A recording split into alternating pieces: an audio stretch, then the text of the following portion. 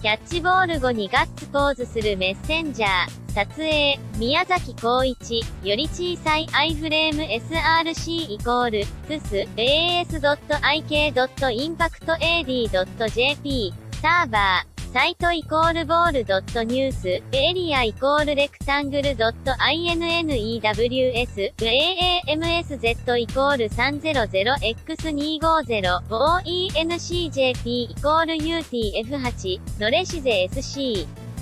rolling イコール、 no、スペースイコール、ゼロ、スペースイコール、ゼロ、 frameborder イコール、0、 marginheight イコール、0、 marginwidth イコール、0、ウィズイコール、300、 height イコール、600、 allowtransparency イコール、 true、より大きいより小さい、 iframe より大きいいきなり勝負ウィーク突入だ。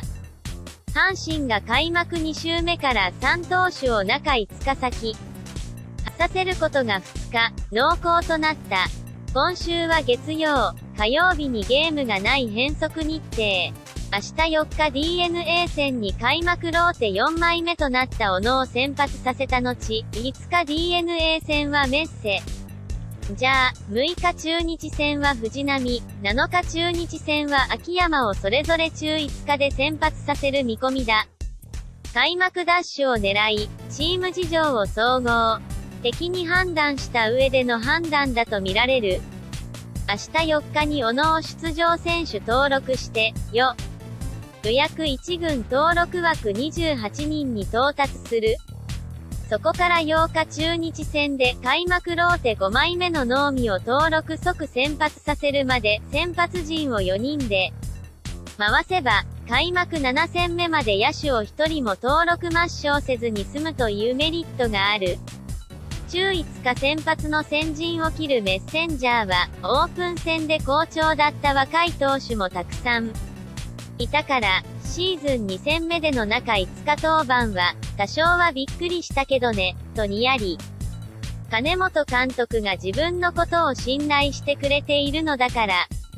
言われたところで投げるだけだよ、と余裕の表情だ。トラトーが球界の慣例にとらわれず、開幕、2週目から先発陣をフル稼働させる。妻も驚き、折れない男のエネルギー。まずは980円でお試し。なぜ、売れる？長崎の生姜シロップを飲むと、すごい、お尻が、嘘だろ、中性脂肪が、特報1日1本続けて驚愕の結果気になる我が家の資産価値は、飲むコムの無料査定でチェック。スポンサード美女図鑑公開中より小さい iFrame SRC イコール tus as.ik.impactad.jp サーバーサイトイコールオーダー、エリアイコールパブ01、AAMSZ イコール 120X120、OENCJP イコール UTF8、ノレシゼスクローリングイコール、ノー、スペースイコール、0、スペースイコール、0、 frameborder イコール、0、 marginheight イコール、0、 marginwidth イコール、0、ウィズイコール、120、 height イコール、120、 allowtransparency イコール、 true、より大きいより小さい、 iframe より大きい関連キーワードで検索プロ野球阪神メッセンジャー藤浪晋太郎。